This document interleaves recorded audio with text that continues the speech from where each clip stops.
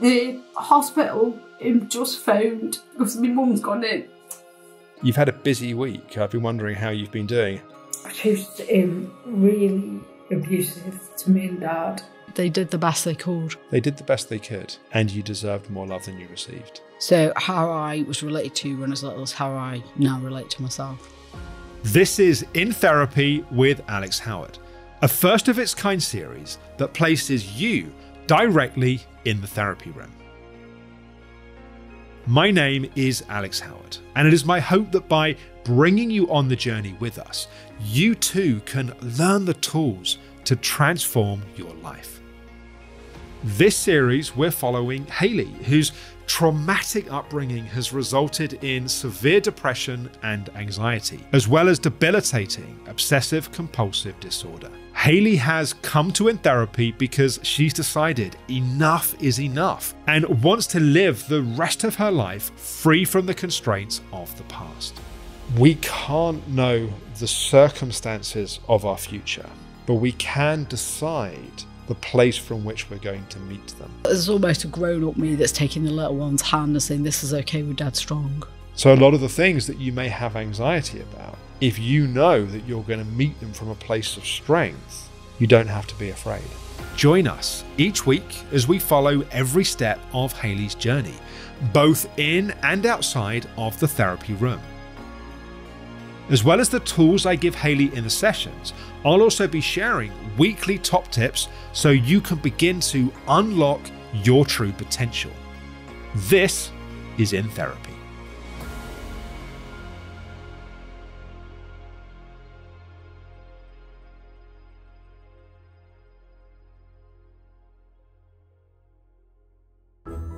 It's the day of Hayley's seventh session with me. Cool. Almost. Hello, Henny. How are you doing? Uh, you, you, you said you were going to do a comedy bit at some point, and this is the day. this is the day. Can you see down my top? No. Oh. right, hang on. Let me get myself together. It's sorry. It's a very dramatic entrance. that's, that's the best entrance so far, I think. In last week's session, Hayley and I began to explore her relationship with her feelings, and specifically her inner child. We will open this up further in a little bit, but first, I know the last week has been particularly challenging for Hayley, and I'm keen to know how she's been getting on. Well, Hayley, it's good to see you. You've had a busy week. I've been wondering how you've been doing, how your how your MRI scan was, how your mum got on. So, yeah, what's been happening? Ooh, big sigh. Mm. I'm still alive. I think. it appears this way.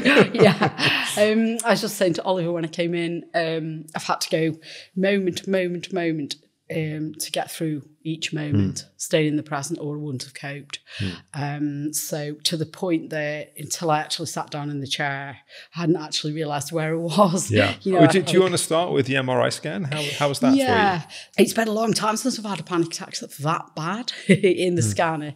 But um, I um, sort of did what he said and breathed through them and um, I was okay. And the mm. you forget how bad they are, don't you? you I don't forgot. They're wow. called panic yeah. attacks for a reason. No, yeah. that having having been in the unique position of had an actual heart attack and a panic attack, I can say that panic attacks are worse. Mm. And people actually don't believe you when you say that, but they yeah. really are. And so I, I, forgot how bad they are. It's like these are really bad. Yeah. But I was okay because um, I was expecting them and it was probably always going to happen because I was absolutely shattered before I went mm. in, and I've had a lot of scans on my heart and MRIs, and I always get them. So I, I, was absolutely fine. If you said to me, you've got to go back in a scanner now, I'd be like, yeah, okay, no worries, mm. back in the scanner and whatever. You, you know, just write it. Yeah. Yeah. So, and I thought, I thought to myself, oh no, I failed. I've had a panic attack. And then I thought, no, failing is refusing to go in and being still afraid of it. And mm. so I haven't failed at all. Something happened that I expected. And I was like, yeah, we're done, whatever. So the yeah. inner critic came in and was like, oh, let's rip you apart because you've failed. But isn't it interesting that you noticed the inner critic? Yeah, straight away. And rather than collapsing in submission to it, yeah.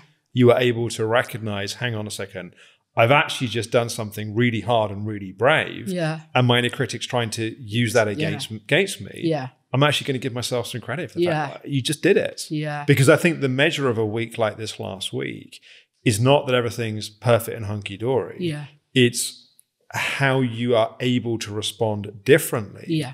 to those challenges. Yeah. And if I, if we imagine how this week would have been previous to learning these tools and techniques, Yeah. I imagine it would have been quite different. Yeah, I think so. Last week I would have been self harming by now, crying my eyes out, completely lost in a pit of despair. With with, I would have had some tools, um, like badminton and running and stuff. And it is different now because I am really struggling without those tools. But I have got other tools. Thank Yes. goodness. So just to complete the, the update on the week, uh, what happened with your mum's operation?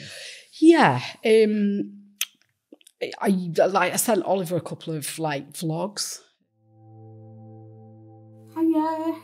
Um, the hospital um, just phoned and um, it, because my mum's gone in and um, they said, sorry, yeah, they said she's okay um, and I can go and visit her. So um, she's okay. Um, so that's really good. Um, sorry, it's so funny. I've been um, uh, holding it together all day and all week. Um, but my mum's okay.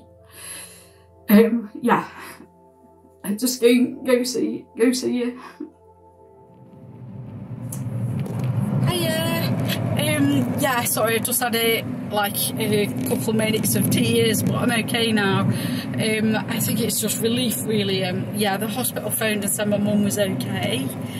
Um, so we're just going to see now in my Ace two-seater car. There's hubby. There's the road. Yeah, it's been a blinking tough week, but um, I'm still smiling. I think that's a grimace. Um, I've been employing some techniques from the program and what Alex has taught me, um, and it's still been really tough week, but it's been so much better for the stuff I've learned from Alex. Really, um, yeah. Bye bye.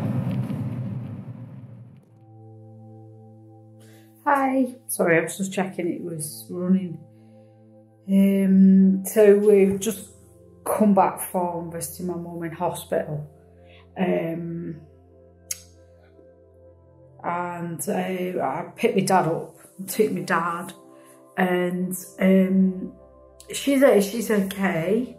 Um, phys- physically, and the operation's gone well and stuff. Um, but was um, really, really, really, really, really abusive to me and me and dad. When we were walking out the hospital, we were passing other people in, in the ward and they were just smiling at us and waving and I looked at my dad and, and we were smiling and waving back.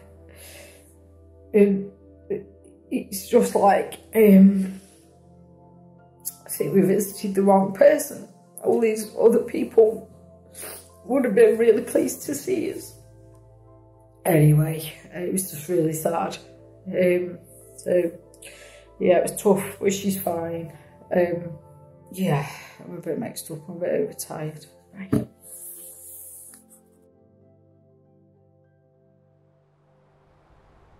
Back to the session. The, the one thing that upset me more than anything was um, I feel awful saying this, but hearing her speak to my dad is worse than hearing her speak to me like that. And so that really destroyed me when she was talking to my dad like that. It really broke me. And so, how does he respond to it? Um, similar to me, he takes it, and then occasionally, like me, he shares my sense of humour. We we say something back, a little bit of an ego defence mechanism, a bit of trying to turn it into humour, and that's how we cope. But he's very similar to me. He'll take it, and occasionally he'll shout back. But it's hard. It, I, it's hard watching someone you love getting it as well. Yeah. Yeah. Anything else you want to share about last week, just so I'm up to date in terms of what's happening? Yeah. Um, just the difficulties with my brother and his girlfriend being so much closer and not stepping in and, and helping because it, it restricts our lifestyle. Um, so like we were going to go down to up to Edinburgh Fringe and stuff, and because it's so far away, we're just like, oh, we can't go because really, I just just like I wish my brother had just helped, but he didn't even send her a message before she went in hospital and just. So. And what would happen if no one was responding? Because it sounds like there are things that are responded to that they actually need to be done. Yeah. And there's other things like the calls in the middle of the night where it's more her acting out her behavior. Yeah. Yeah. What would happen if no one responded to her acting out her behavior? Uh, I've never, I've never not gone. So, um, yeah, it, it, it's it, it's hard. Mm. What do you think would happen if you didn't go, or you couldn't go? Um, I I wouldn't be able to live with myself through the guilt. Like, and what would be the mechanism of that guilt? What I mean by that, I'm going to answer my own question. That's your inner critic, isn't it? That after that experience, that that if you're saying no to her, what makes you feel guilty is that inner critic then that's saying you're so terrible. How could you do that? it's really hard because, uh, yeah, I get it. But she she is really vulnerable. Mm. Yeah. There's many many vulnerable people that you're not taking phone calls from in the middle of the night. Mm. I have to think about it. Mm. That means stop asking. That's me. You must stop asking. I had a tough week, stop, mate. Stop Go poking. On. Lay off. hey, where's my glass of water? I was like, can I have cider next week? I'm not here next week. It's getting tough, this. I need more than water. Are I'm we sure, done? I'm sure there's a bottle of whiskey in the cupboard somewhere. yeah, I don't even drink, but crack it on. Where's my Budweiser? right, change the subject. Yeah, it's, it's it's really hard, isn't it? I mean, I've It is- got established patterns of behaviour Yeah. from for 45 totally years. and and i and i get that i'm asking you some very challenging questions so i really appreciate you Yeah. telling me to bug off i think it's, it's it's important that you're because what i don't want this process to be is that you're used to your mum pushing you to do what she wants Mm. and then i'm just pushing you to do what i think you should be doing Yeah, it's really about you Yeah. finding your own Yeah. truth yeah, and your own inner voice yeah, and making your choices based on what is truly Yeah. right, yeah, not just based upon Yeah. old patterns and yeah, the reactivity from the past. absolutely. Hayley has just touched upon a really important point. One of the skills of therapy is finding the client's defenses and, where appropriate, challenging them and helping the client open up to how things could be different. However, when someone has experienced traumas related to people violating their boundaries, one of the key principles is to make sure the challenge is not being done in a way which also violates their boundaries. If we do, it can make the defenses become stronger or worse, cause further trauma. So, with Hayley, I'm challenging her edges, but also actively inviting her no when she sets a boundary and being careful to honor it. One of the things that we started talking about towards the end of last time was the little girl inside of you Yeah, and her, or really your emotional needs yeah, and your relationship with her and how you're being with her. And I just, and I know there's been, a lot going on the last week. I was wondering, have you managed to reflect on that at all? Is that something that's been, has she been in your mind? Yeah, I was, I was thinking about it. I was going through some memories, some very early memories, and I, I realised that there was no point in my entire life where I haven't felt really anxious. And so I was just going dipping into some of the memories of really heightened anxiety that a little girl shouldn't be feeling and realising that I'd never reached out and spoken or asked for help about them. I just didn't, it didn't occur to me that there was anyone I could talk to about them. Um, but also I was trying to be a little bit kinder, like whenever I brought something for myself, uh, or saved. I, I used to like running. I used to run when I was like I used to run for the county when I was twelve. So I was a little runner, and um, I saved up and bought some running shoes. Um, I saved my pocket money up, bought some running shoes, and um, um, my mum um, took them off me. Took them back and it's it's like it's really tight because all all the other kids in my school were like stealing and getting in trouble and taking drugs and whatever. And I, I was like like really well behaved. I loved school and was really a really good kid, mm. really well behaved. And it's like I saved up for running shoes. I didn't that you know, he was a real, and she took them off me. And when I used to buy posters and stuff and of horses and sort of stick them on my wall, she'd come in and rip them off, and I was never allowed to spend any money. And so, so this week specifically, um, I bought some things for myself that mm. I, I, haven't done because I, I, just save and save and save and save and. and so what? So, what are some of the things that you bought? Um, just some. Um, it's giving me a cry. Ugh, sorry. Um, just some um, like uh, little embroidery sewy things. Um, mm. and I thought as soon as my knee goes better, uh, I'm gonna book a beach ride with horses mm. and, and, just spend some money on myself because. Uh, I never do it. It feels really indulgent. It feels like I shouldn't be doing it. And um, so, um, yeah, it has been in my mind. Just the, the, some of the experiences I've been through, the fact that I've got a, a long established pattern of anxiety, and the fact that I, I need to sort of treat myself and buy mm. stuff which I have a huge difficulty with. Yeah.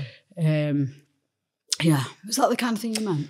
It is. I think that that's that's wonderful that there's that shift in terms of how you're responding to your emotional wants and your mm. and your emotional needs mm. ultimately i'm also interested just on a kind of felt emotional level how it is like if you think about that younger place in you that was wanting to be seen and wanting to be celebrated in her love of horses and her mm. wanting to do well at school and her wanting to be able to just enjoy life and her being shut down from her needs and being told that you know she wasn't allowed to have them and i just wonder how you feel towards her as we're talking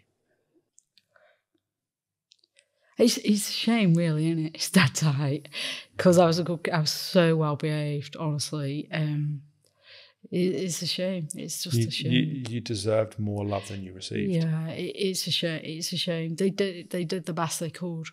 They did the best they could. Yeah. And you deserved more love than you received.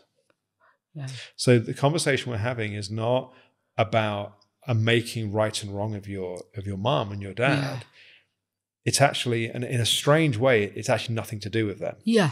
It's to do with what happened inside of you and what still happens yeah. inside of you. Yeah. Which is that you learned a way of relating to yourself right. emotionally. Yeah. Which is is cruel, harsh, yeah. judgmental, unkind, and unnourishing. Yeah. And because that's how you were related to, that's how you related that how you learn to relate to yourself. I get it and yeah. that's the bit we can't change the past we're not here to change them yeah. but we can change what happens inside of you. Yeah yeah. So how i was related to when i was little is how i now relate to myself.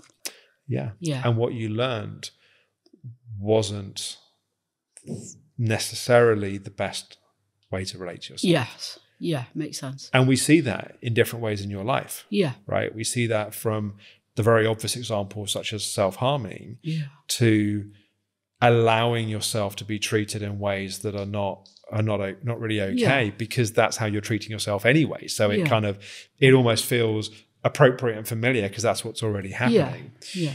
As you change, which is already what part of what's already happening, as you change how you relate to yourself that will also change what, what you do and don't accept from other people. Okay. So as you think about that, and you think about the little girl, how do you feel towards her right now? This, this is my head going down, yeah. looking like I'm thinking, but I'm not yeah. really. I'm, looking, I'm looking at the carpet thinking.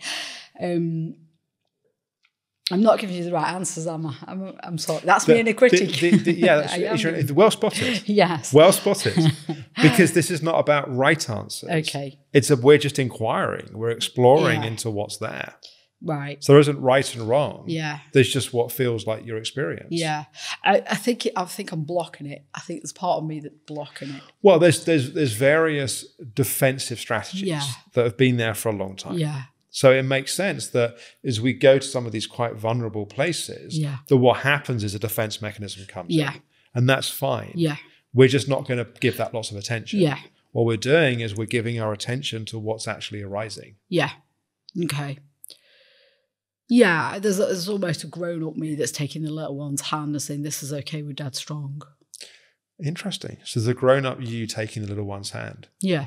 What does the grown up you feel like? Yeah. Uh, stronger and knows that they, they can do more than they think they can.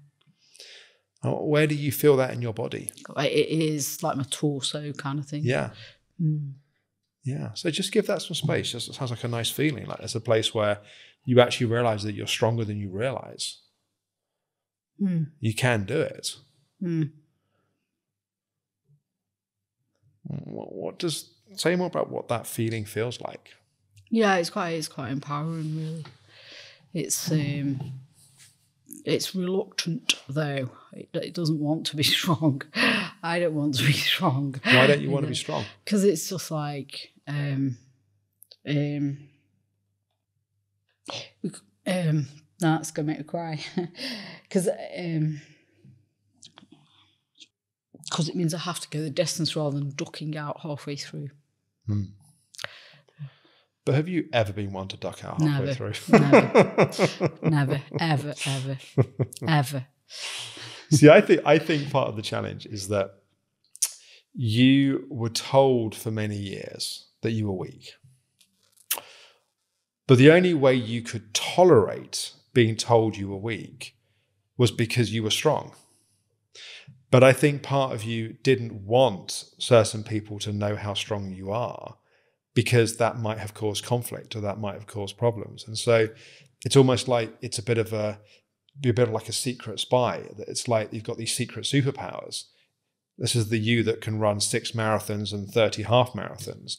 This is the you that can go from being agoraphobic and living in one room for two years to coming back out into the world and going into an MRI, even though that you were afraid to do it.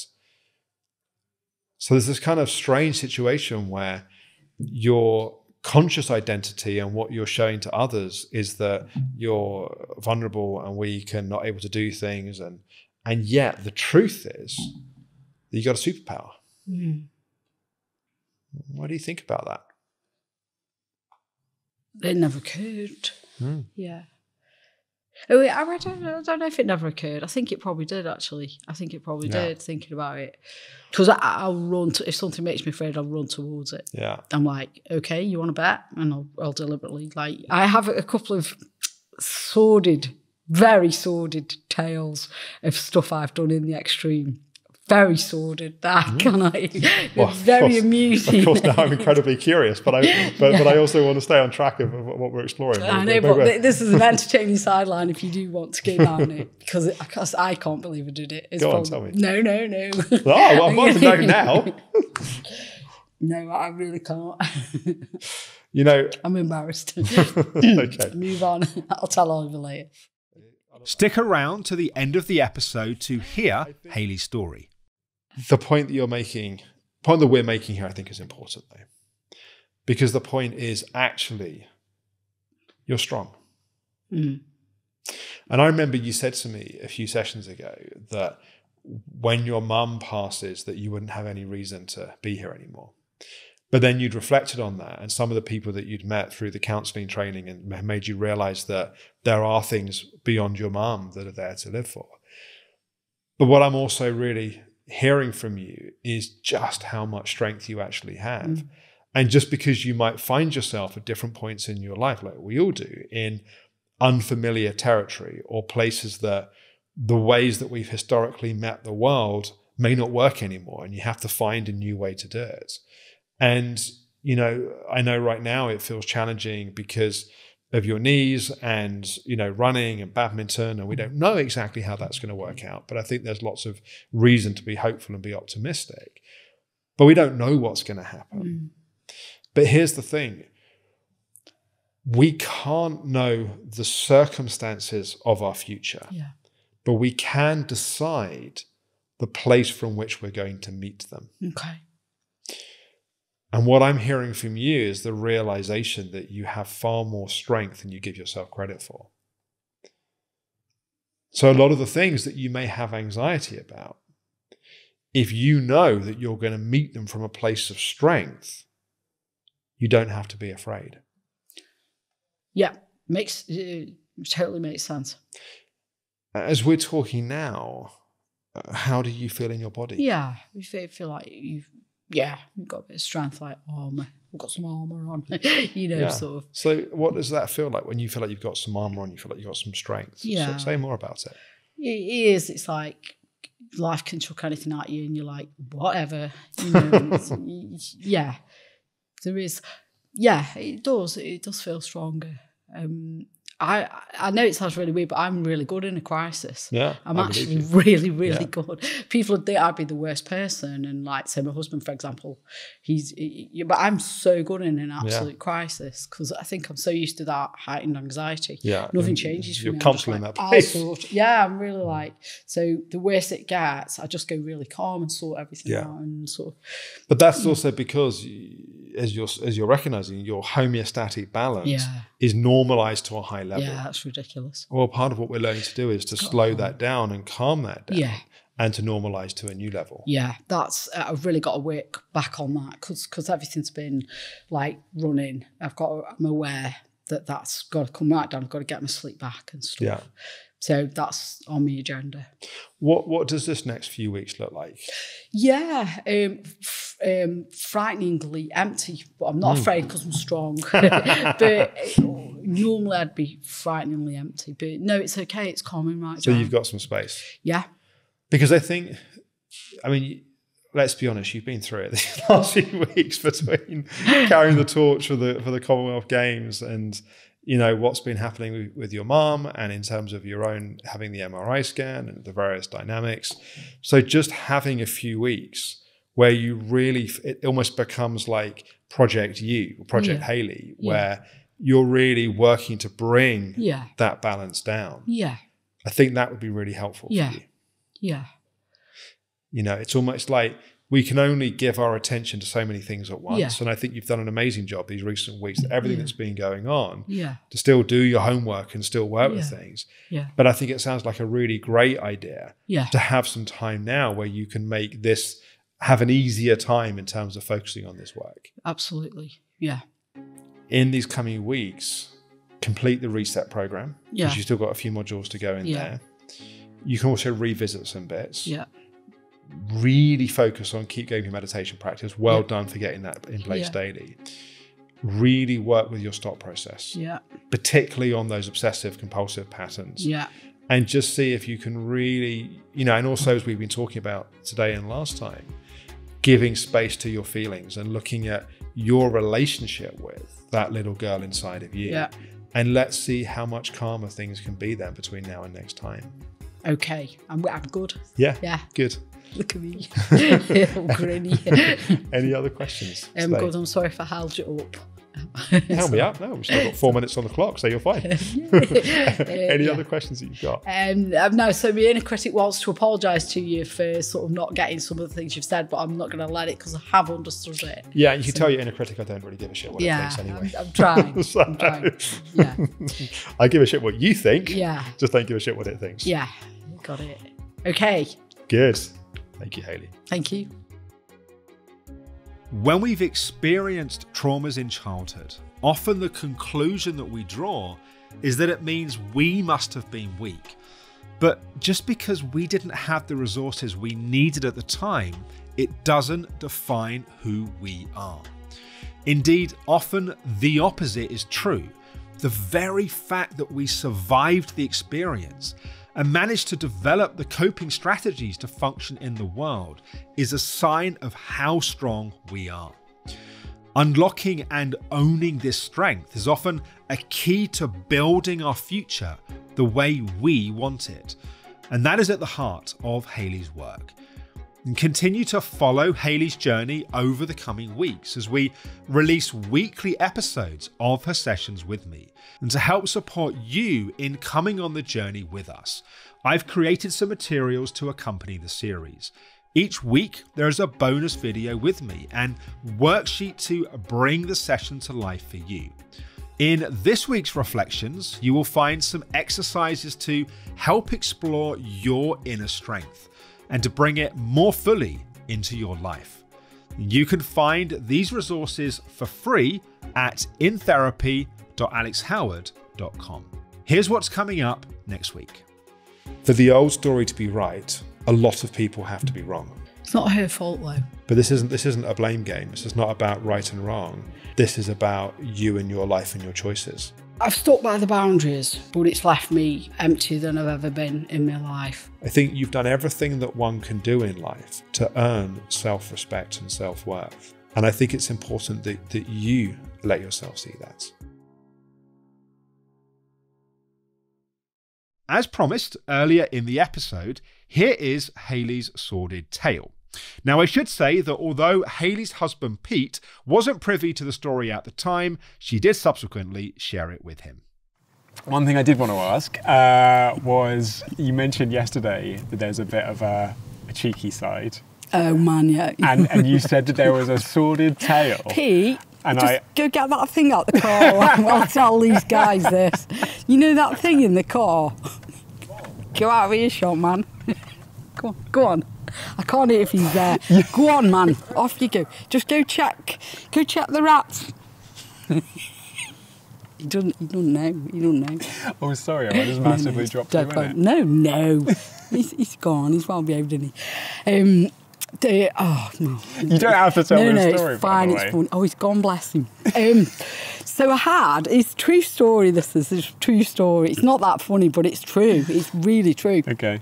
So I had a, a massive, um, like, real hang up with body image, like, and it was tipping into, you know, body dysmorphic disorder, where you really hate yourself and you look at yourself and I think, I really hate myself. And I was starting to obsess about it. I was like, this is really bad. And, like, I got to the stage where I wouldn't go in the shower or bath because I couldn't stand looking at my own body. So I'd go into the shower clothed because it was that bad. And I thought, this is this is going to control me, like staying in the living room and agoraphobia and all that. I thought, this is really bad. So I thought to myself, right, I'm not having this. So I thought, what is my idea of the worst nightmare ever? What what would I hate more than anything? What can I do to think, do you know what, I'm not putting up with this crap? So have you heard of Spencer Tunick? I have not. Spencer Tunick, this was quite a few years ago now, so he does nude mass photo shoots Right. um, like masses of people and he puts them in different places in the world. So he was coming to Manchester near where we live and he was at the Lowry to drive out in the middle of the night. You don't even know. drove out in the middle of the night. He was working nights. He's not coming back. I Drove out in the middle of the night, and I thought, I'm going to do it. I'm going to do it. I'm going to do it. I'm going to do it. I'm going to do it. And I've got a photo. So uh, there's about 300 of us. You can look the photos up online. Um, and everybody took all the clothes off, and we were hanging over Concord and in the park. We- we- Butt naked for this art photo shoot because it, it was just expose you on it. That's not even the That's funny amazing. bit. Oh, That's God. not Okay, we haven't even got to that bit yet. got to the funny Okay. Oh all no, right. he's coming back. um, so we'd all left our clothes in a certain place, and it was okay. It felt very tribal. Uh, we'd all left our clothes by a tree. Okay, so I got the wrong tree. Okay, I'm not getting out the only person naked, and everybody else was fully clothed, and I couldn't find mine. So I was standing there in, in a mass. Hi, Pete, and I'm not even joking, honestly. And and and anyway, oh look, Pete, over there at yonder tree. But um, I was the last. I was the last person. I was the last person. Oh, person. wow. How did it feel to do that, though? Yeah, yeah, it was empowering, really, because you in life you get two choices, don't you? You can let something wreck your life, or you can say, you know, I'm going to run with this, and it's so much more fun to run with it. And I make I make a joke of it now, but I can't tell you how bad it was. Uh, Like living with that, and then thinking, you know what? Do you know what? No chance. And I, and I did it, and it is like running the marathon, isn't it? It's like, um, but yeah, I did it. I completely. Did I finish the story before Pete came back? I think so, yeah. yeah. Um, but yeah, it was. Uh, I think uh, if when people say you gutsy, that that that was. Well, that's what I was going to say That in terms of talking about strength. Yeah, You that know, was. I know, I know all that too. That was really gutsy, but it backfired in the end. it was like I don't think so. I still think it makes it a more funny story. it does, yeah. Uh, but I'm the- assuming. I'm assuming you did find your clothes. Yes, yes. You said the punchline. yeah. Um, but I, was- I mean, I started crying in the end, and the guy gave me a, a you know, let me help you.